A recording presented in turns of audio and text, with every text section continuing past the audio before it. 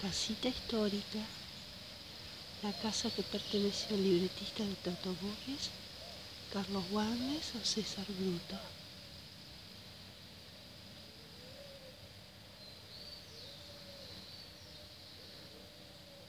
Acá en el bosque de Alpenhaus.